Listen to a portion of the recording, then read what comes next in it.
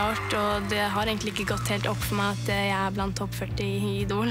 Det er veldig høyt nivå i år, og det gjør meg veldig nervøs. Jeg har turna siden jeg var tre år. Jeg blir livredd når jeg konkurrerer med turn. Det er faktisk helt forferdelig.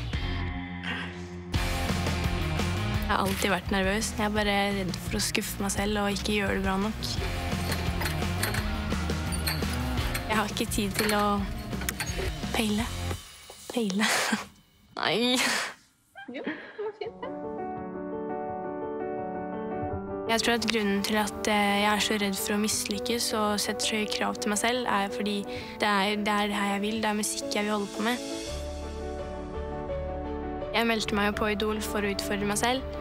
Og nå som jeg har kommet så langt, så føler jeg selvfølgelig at jeg har blitt litt tøffere, og at jeg har klart den utfordringen jeg ville, da. Jeg skal synge 'Someone Like You' av Adele, og det er en veldig krevende sang, så jeg håper nervene holder.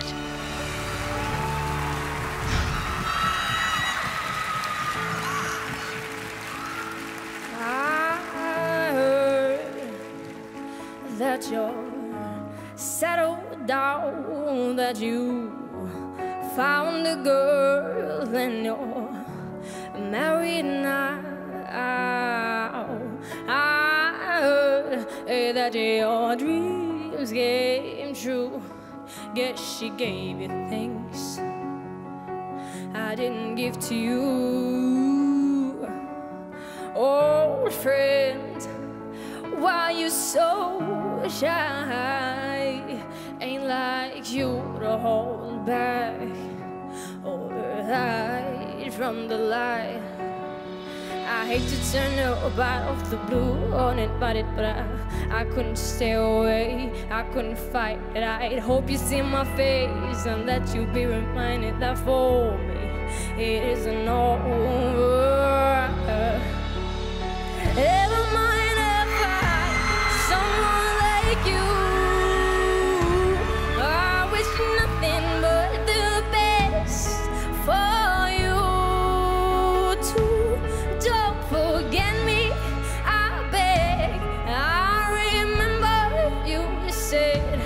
Sometimes you last in love, but sometimes it hurts instead.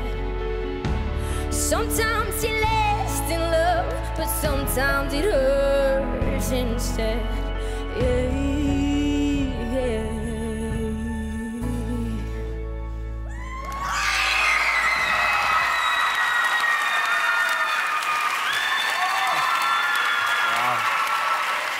Victoria, jeg har jo sagt det til deg før. eh, jeg er så fan av stemmen din. Altså. Det, det låter så Jeg syns det låter så fint. Altså. Jeg, jeg liker lyden i stemmen din så dritgodt. Og i dag hadde du òg en skikkelig skikkelig fin innlevelse. Jeg var skikkelig Jeg var glad på dine vegne. Din største utfordring er eh, at du ikke tør å stole helt på at du er så bra som du faktisk er. Og du mangler kanskje litt livserfaring for å kunne gjøre den låta her troverdig nok, men det kommer til å komme, og når det kommer, så kan du bli så stor du vil. Jeg heier på deg. Altså, jeg begynte å få litt av nervene dine da jeg tenkte ok, her, her er Victoria som har eh, nervøsitetsissues og velger en Adele-låt som på en måte det er noe av det vanskeligste man kan velge. Og så starta det litt, uh, litt feil, men så bare kom du inn, og på den der 'Friend, why you so shy'-delen så bare merka jeg at jeg får frysninger. Uh, var, uh, altså, det er en vanskelig låt å naile. Jeg syns, jeg syns du gjorde en dødsgod jobb her. Jeg er imponert, altså, Victoria. Øyvind heier på deg, men hvis du hører her inne, så er det ikke bare han som heier på deg. Jeg var livredd deg, Victoria, når du kom opp på scenen. Livredd, for det er din største fiende, din verste fiende, er, har vært, og er sikkert på en stund til i alle fall, kommer til å være dine egne nerver. Vet du hva? Det Øyvind sier igjen, stol på deg sjøl. Stol på talentet ditt. Vær komfortabel og gled deg over det og med det. For det som bor i deg, det er noe helt unikt. Um, Victoria, jeg er imponert over hvor mye du har vokst. Eh, Du kom inn på audition og du var så redd at jeg, jeg, det var vondt å se på deg. Og så står du her nå og leverer, og du Ja, jeg må si at den kurven du har hatt, den er, går stødig oppover.